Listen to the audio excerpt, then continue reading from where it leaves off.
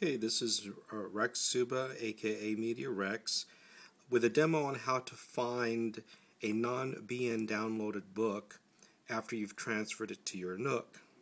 Now, just like a regular library or bookstore, they're organized in multiple sections, and similarly, your Nook has different locations, Nooks, cubbies, etc., where these items can go.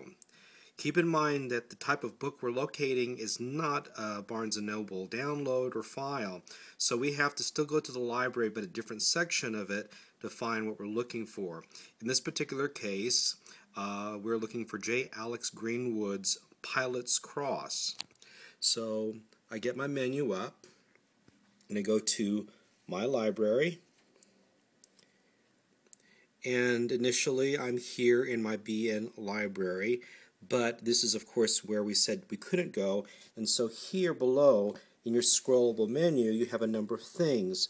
If you don't immediately see this you need to scroll to a position where you can see view my documents.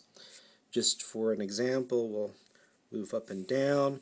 You might be looking at this. If you recently did something for instance my latest issue of the New Yorker, which is one of the reasons that I'm really thrilled with my Nook, came in, and so that's why you saw the indication at the beginning of the video. Back to our task, which is, there's that, just in case you missed that bit.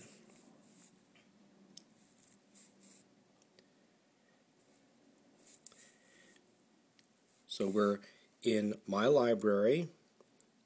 We're going back to where the My Documents area is because it's non-BN content and so this resides here.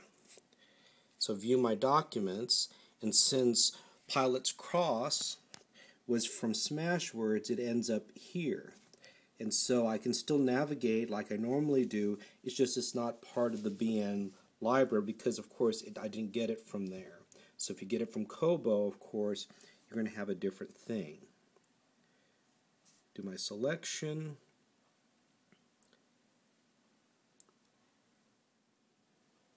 And there is my book where I left off.